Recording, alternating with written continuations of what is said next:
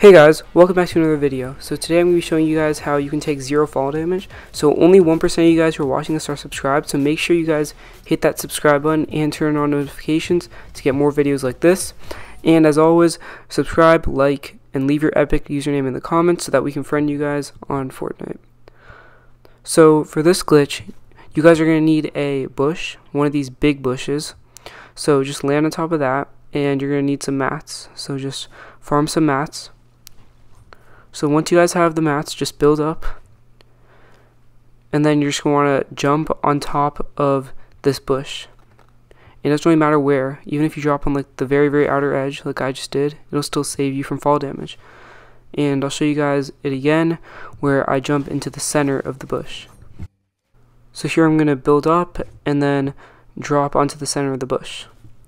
And it saves you from fall damage. And then just to show you guys that I can take fall damage, I'm just going to build up and jump off. And I'll show you that I do take fall damage. So see, I just lost 40 health, and that's it. So thanks for watching the video, guys. If you if this glitch worked for you and you enjoyed this content, make sure to leave a like and subscribe.